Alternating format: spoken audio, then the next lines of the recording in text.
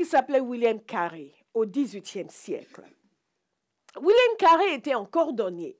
Je vous ai déjà raconté son histoire. Je ne sais pas quel message je, prêchais, je vous ai parlé de William Carey. C'était un cordonnier. Et donc, quelqu'un sans beaucoup d'instructions, mais tout seul, il a appris le grec. Il y a des gens qui n'ont juste pas appris le français. Il a appris le grec. Il a appris l'hébreu. Il a appris le latin. Seul. Il a appris ces choses et il avait vraiment à cœur la mission. Dieu lui a donné une vision pour amener l'évangile dans les terres où l'évangile n'était pas encore connu, un peu comme l'apôtre Paul. Et il était jeune serviteur de Dieu. Il a partagé cela avec un groupe de serviteurs de Dieu. Que Dieu bénisse les serviteurs de Dieu. Mais certains serviteurs de Dieu sont calcifiés, figés dans leurs idées. Et quand Dieu amène un souffle nouveau, nous, on est là depuis longtemps. On a tout vu, tous les mouvements, tout, tout, tout, tous les, tous les changements soi-disant révolutionnaires. Ça n'a encore rien changé. Mais William Carey se trouvait devant un groupe comme cela. Et il a annoncé, il a parlé avec vigueur de, du désir d'amener l'évangile dans les terres où le Seigneur n'était pas connu. Et c'est ce qu'ils lui ont répondu. Écoutez bien. Jeune homme, asseyez-vous. Vous êtes un illuminé. Quand Dieu voudra convertir les païens, il le fera sans vous consulter, sans nous consulter, ni vous ni moi. Pour vous, aujourd'hui, c'est comment? Exactement. Mais leur vision était limitée. Nous sommes de l'autre côté, pour nous, ça paraît une évidence. Qu'est-ce que Dieu a prévu vous concernant? Qui est déjà une évidence pour Dieu, mais pour vous, c'est impensable. Pour eux, c'était impensable. Et il y a beaucoup de choses qui pour nous sont impensables jusqu'à ce que quelqu'un reçoive la vision de Dieu et l'amène à l'existence. Après, ça devient une évidence. Ça devient une évidence. Il y a beaucoup de gens qui répètent les évidences. Il n'y a, pas beaucoup qui produisent les évidences. Qui sont capables de recevoir quelque chose de Dieu qui n'existe pas et l'amener à l'existence au point où pour les gens, ça devient une évidence.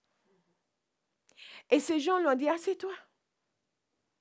Dieu veut sauver les païens, il le fera, sans nous consulter, ni toi, ni nous. Mais William Carey a réussi à partir en Inde. Et pendant sept ans, il n'a pas eu un seul converti. Sept années. Pas une seule personne ne s'est convertie. Il en a bavé. Il a souffert. Sa famille a souffert. Il, a appris une langue locale. Il a traduit le Nouveau Testament. Ensuite, il a traduit la Bible entière dans la langue bengale. Le Nouveau Testament, la Bible entière. Il a continué son travail d'éducation. Dieu a placé avec d'autres missionnaires. Et au bout de sept années, il a baptisé son premier converti. Mais Dieu a multiplié son œuvre. Il a passé 41 ans en Inde. 41 ans. Et Dieu l'a utilisé puissamment. Mais s'il n'avait pas une vision divine, au bout de six années, il aurait abandonné. C'est clair. Même la septième année, après avoir baptisé le premier converti, il aurait fait, au moins j'ai fait un converti, je rentre chez moi. Je ne serais pas venu en vain, j'ai traduit le Nouveau Testament et la Bible, j'ai fait un converti, je rentre chez moi une vision plus grande que les circonstances adverses. Beaucoup de gens n'en ont pas. Ils déambulent de lieu en lieu en cherchant quelque chose pour les égayer, alors que Dieu est en train de mettre des choses en eux et ils refusent de suivre. Pourquoi les chrétiens ne vivent pas dans la bénédiction? Parce qu'ils ne suivent pas la vision de Dieu pour leur vie. Ils ne suivent pas la vision de Dieu pour leur vie. Ils veulent amener Dieu à bénir ce que eux veulent. Et, on dit concernant William Carey qu'il a inspiré le mouvement missionnaire du 19e siècle. Le mouvement missionnaire du 19e siècle. Ce sont les David Livingstone qui sont allés en Afrique. Le mouvement missionnaire du 19e siècle, ce sont tous ces missionnaires qui sont partis en, en Chine, en Inde, en Afrique, partout en Asie. Est-ce que vous me suivez? Une vie qui reçoit une vision de Dieu et qui décide de tenir contre vents et marées et faire la volonté de Dieu va impacter une génération. Ça y est, j'ai utilisé le mot impacter. Est-ce que cette vie sera la vôtre?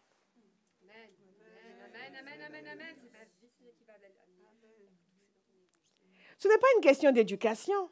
Il n'avait pas beaucoup d'éducation, mais il s'est éduqué. Mais nous avons une génération qui fait son travail ou va à l'école, ensuite rentre à la maison, se gaver de télévision, se laisser polluer les pensées et détruire l'avenir. Ce que vous regardez est soit en train de construire votre avenir ou détruire votre avenir en polluant votre prison en polluant votre prison.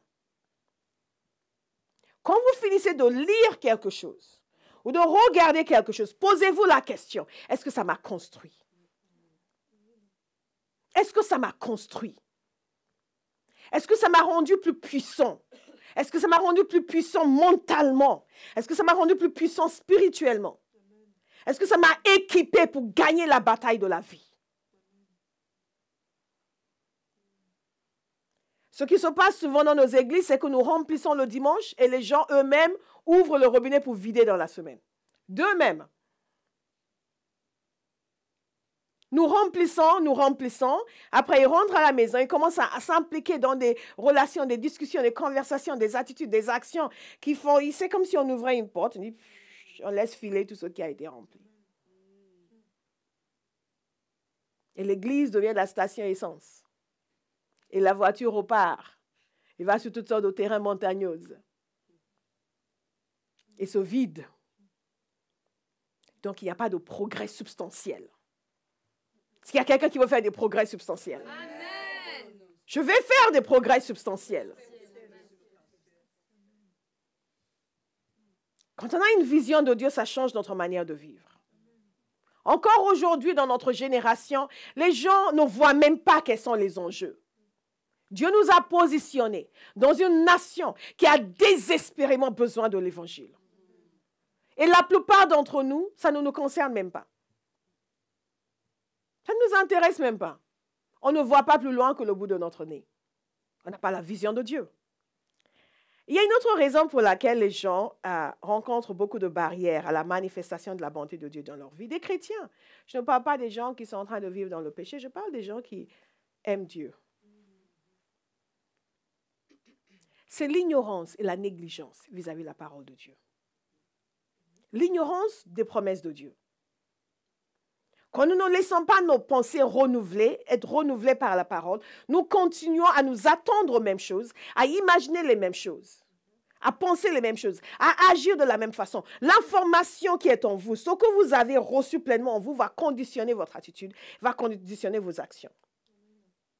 Or, nous négligeons la parole de Dieu. Nous négligeons.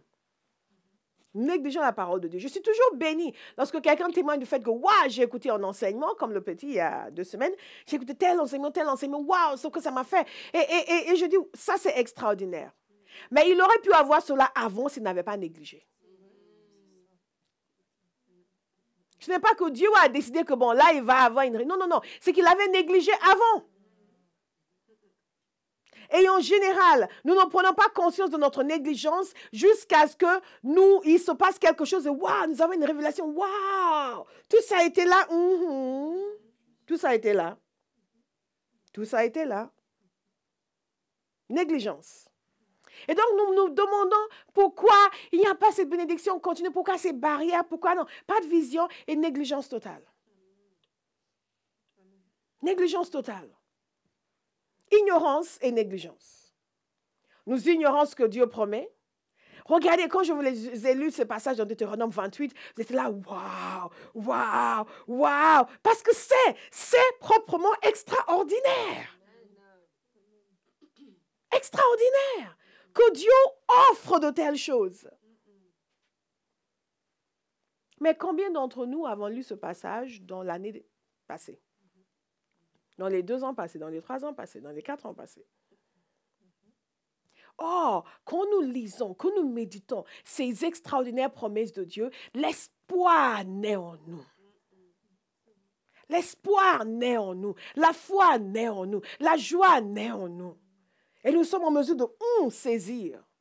Négligence. Et ignorance. Et la négligence et l'ignorance, ce n'est pas uniquement l'ignorance totale, c'est aussi l'insuffisance de révélation. Insuffisance de révélation.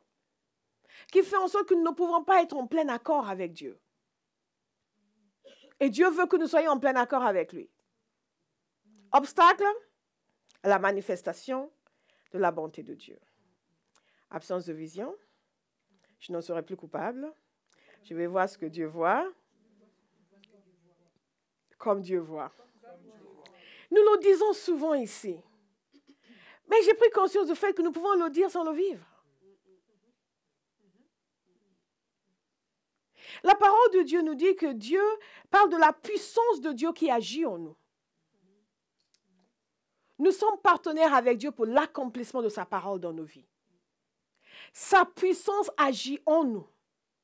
Et c'est cette puissance qui agit en nous qui amène la réponse à nos prières. Mais il faut qu'elle agisse. Il faut la laisser agir. Il faut coopérer avec. Quel est le troisième point? C'est que nous n'avons pas, dans beaucoup de cas, n'avons pas la conscience de nos besoins. Nous n'avons pas une conscience suffisamment aiguë de nos besoins. C'est comme si le diable vient mettre une passivité en voile sur les gens. Ils vont de jour en jour. Leur vie ne correspond pas à la parole de Dieu, mais ils s'en accommodent très bien. Réveillez votre voisin. Ils s'en accommodent très bien.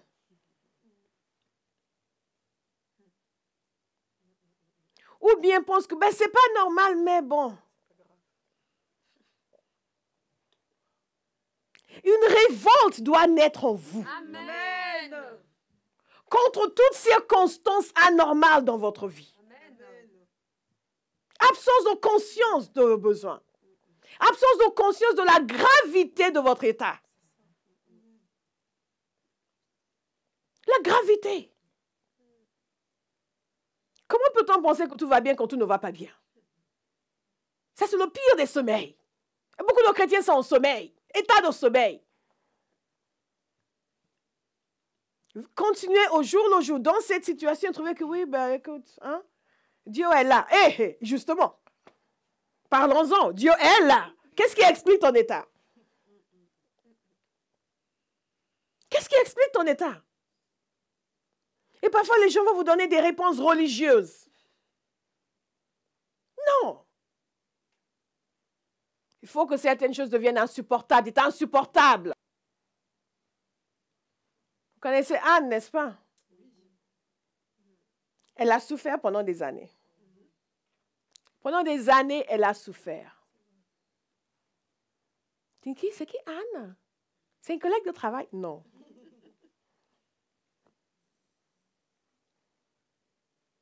Elle a souffert pendant des années, elle ne pouvait pas avoir d'enfant. Et son mari avait la bonne idée d'avoir une autre épouse. Déjà, épouse unique sans enfant, c'est difficile, mais avec une autre épouse qui, elle, était particulièrement féconde. Et Anne en souffrait. Mais elle souffrait pendant des années, elle priait. Mais un jour, elle en avait assez. Il faut que quelqu'un dise J'en ai assez. J'en ai assez. Le diable s'installe sur votre tête, vous vous en accommodez bien.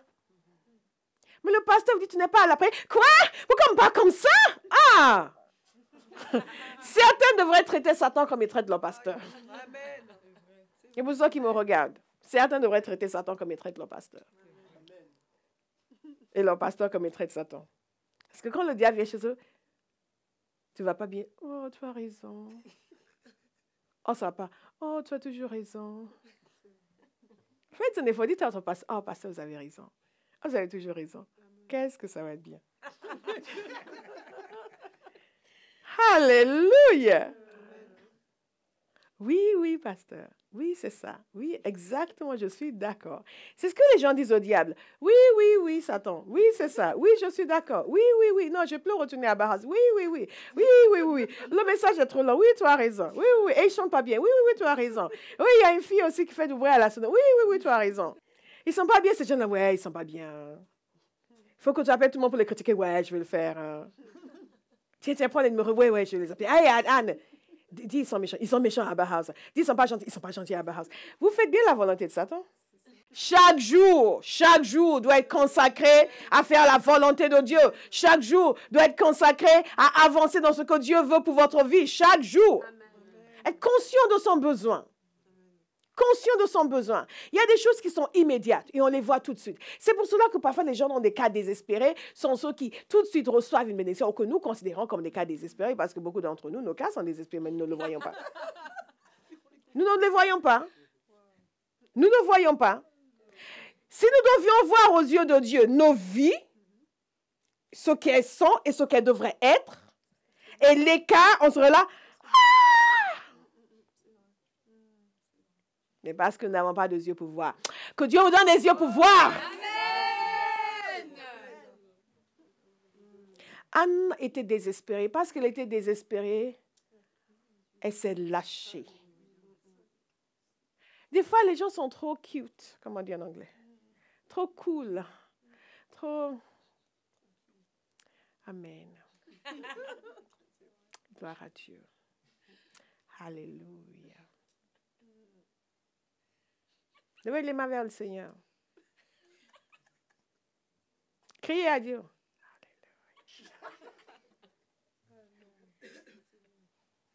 Anne était désespérée.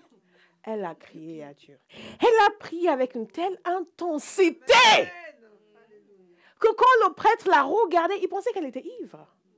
Est-ce que ça vous est déjà arrivé D'être si intense quand c'est venu, mais ça va? Quelqu'un est venu, ça va? Quand j'étais jeune, quand j'étais plus jeune,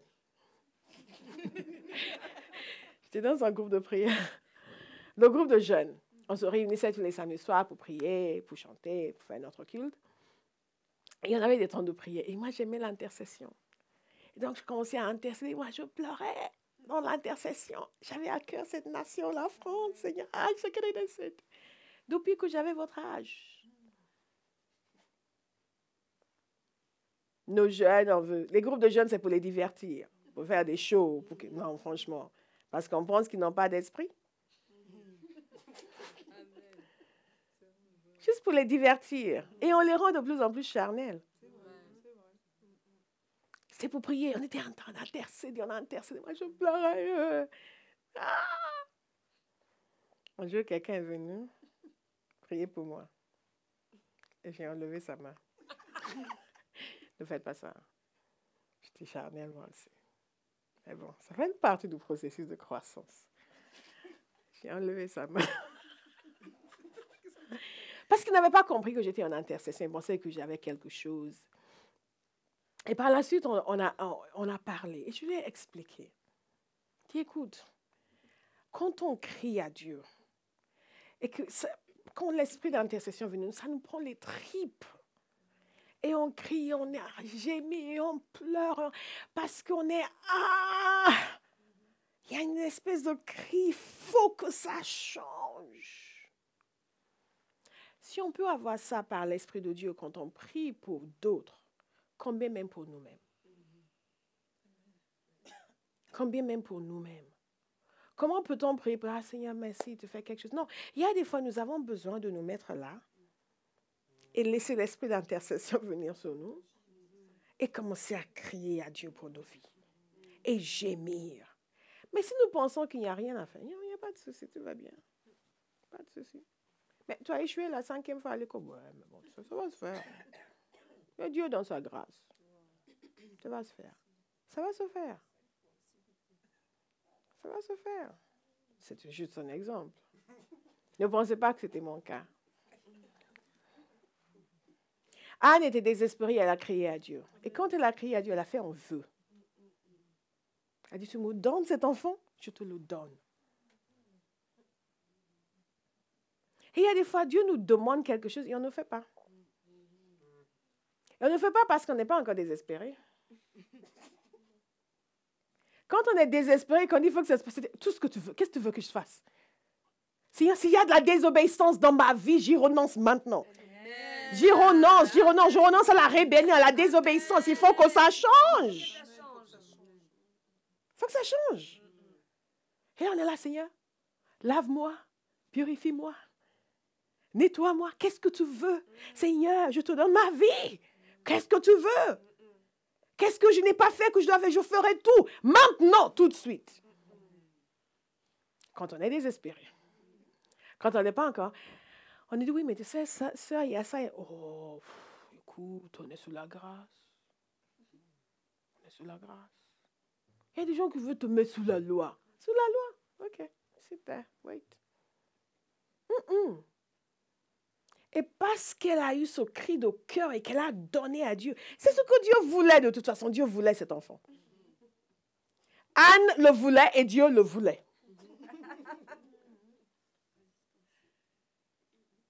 Des choses que vous voulez que Dieu veut.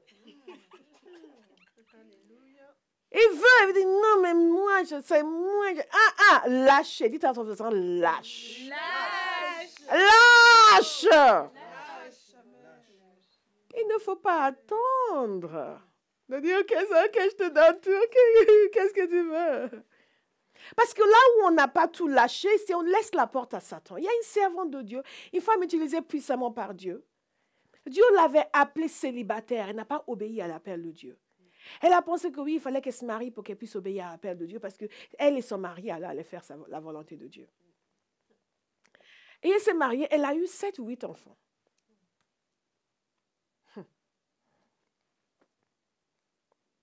Elle les a perdus presque tous. Dieu ne les a pas tués. Mais puisqu'elle était dans la désobéissance, Satan a pu les tuer. Elle les a perdus presque tous. Il lui restait deux ou un. Et après, elle a dit, OK, Seigneur, je vais prêcher. Il ne faut pas attendre. Elle dit, mais je ne connais pas, je ne sais pas. Et le Seigneur allait jusqu'à lui écrire des versets sur le mur, un truc extraordinairement surnaturel et l'enseigner la parole. Et même là, elle hésitait encore. Dites à ton voisin, lâche. Lâche. Lâche, lâche, lâche, lâche, lâche. Là, elle hésitait encore et finalement, elle a dit, OK, je vais te servir. OK, je vais te servir. Elle a, elle a commencé à servir le Seigneur. Et ce mari auquel elle a accroché, elle l'a quitté. Enfin, il n'a pas quitté, il l'a trompé. Donc, elle a divorcé. Vous vous rendez compte? Dites lâche. Nous devons être conscients de nos besoins. Anne a fini par dire ça suffit. Il y a un homme qui était conscient de son besoin. Il s'appelait Bartimée. Bartimée était aveugle. Vous savez, la cécité dans le naturel, c'est encore moins pire que la cécité spirituelle. Parce que ça, c'est une condition. On est conscient du fait qu'on est, on est, aveugle. Mais quand on est aveugle spirituellement, on peut gâcher sa destinée sans voir. Bartimée était aveugle. Mais Bartimée nous a donné un exemple extraordinaire de quelqu'un qui était désespéré pour avoir le résultat. Jésus passait par là. Bartimée a commencé à hurler. Il criait, Jésus, fils de Nazareth, aie pitié de moi. Et les gens, comme vous et moi, les gens qui n'avaient pas de besoin, qui n'étaient pas conscients de leurs besoins, Bartimée, mes enfants, calme-toi. Oh. Et Bartimée s'est mis à crier encore plus fort. Jésus, aie pitié de moi. Et Jésus s'est arrêté, s'est retourné. Il leur a dit d'aller le chercher. Et les mêmes, viens, viens Bartimée, te demande. Viens, viens viens Bartimée. Bartimée s'est levé d'un bond, il a jeté son vêtement vers Jésus. Quand on dit aux gens, il y a une parole, cette parole est pour qui?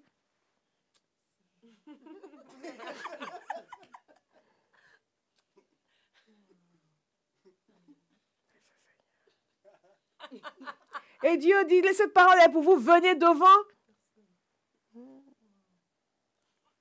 C'est entre moi et Dieu.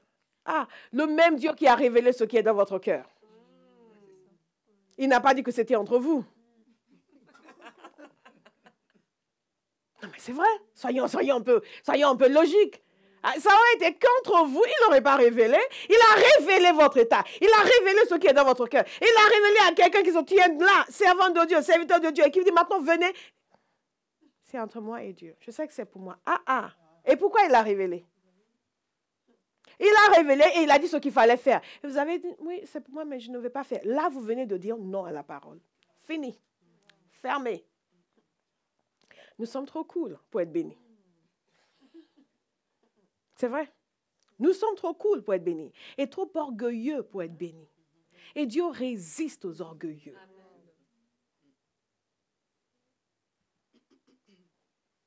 Trop orgueilleux pour être béni. Trop cool. Bartimée, Bartimée était conscient de son besoin. Lui voulait voir. Vous vous parlez, mais moi je vais voir. Il s'est levé, il est allé vers Jésus. Jésus, en plus, Jésus lui a dit, qu'est-ce que tu veux?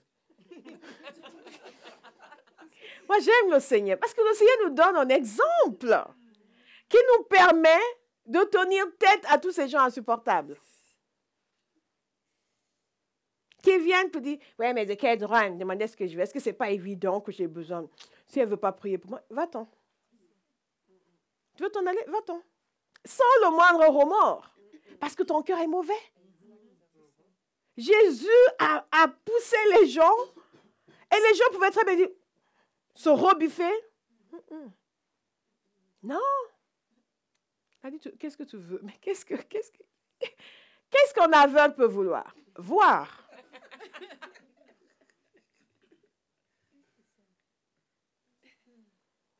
Il a été guéri parce qu'il était désespéré pour recevoir de Dieu. Il était conscient de son besoin. Il ne se la jouait pas. Il n'avait pas d'orgueil, il voulait recevoir de Dieu. Et beaucoup d'entre nous, nous n'avons pas cet entêtement-là. Parce que nous ne sommes pas conscients de notre besoin. Et de l'écart entre notre état et ce que Dieu veut. Nous savons juste que, bon, il y a ça qui ne va pas, il y a ça, mais... Waouh! Dites, Seigneur, ouvre mes yeux. Seigneur, ouvre mes yeux. Il y a un autre point. Une autre raison pour laquelle les gens ne vivent pas cette bénédiction. Une autre barrière. Et cette barrière, c'est la barrière des attaques spirituelles. Alléluia. Et les attaques spirituelles, ça existe. Dites à voisin, ça existe. Ça existe. Et beaucoup de chrétiens vivent comme si Satan était parti en vacances jusqu'à la fin des temps. Oui, quand Jésus va revenir, il y aura un conflit final. Mais pour l'instant, hein, hein, hein, il est parti aux Antilles sur la plage, auprès des cocotiers.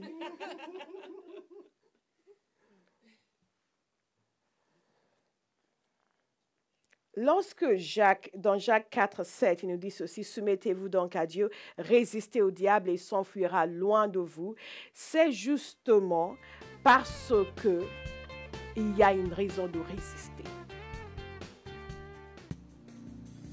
La compagnie théophile, la passion pour Dieu, l'amour du prochain. LCT est un ministère fondé par prophétesse Bola Ogedende. Prophétie, évangélisation, enseignement. LCT touche 155 nations et le monde entier à travers les émissions de télévision Passion pour Dieu, les conférences Paraclétos, conférences de guérison, conférences de prière, et à travers le site avec plus de 150 enseignements en ligne. Des outils d'évangélisation sur dieu.fm et la télévision, la radio et Internet. Nombreux sont les témoignages de vies guéries et transformées.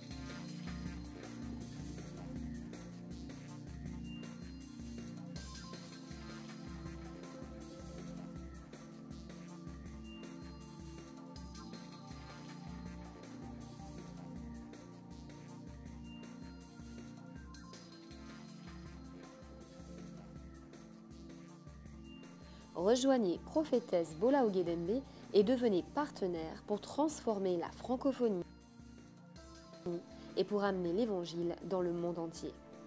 Pour devenir partenaire, rendez-vous sur compagniethéophile.org ou appelez le 07 81 69 55 58. Retrouvez LCT sur compagniethéophile.org, Facebook, YouTube et Vimeo. La Compagnie Théophile, la passion pour Dieu, l'amour du prochain.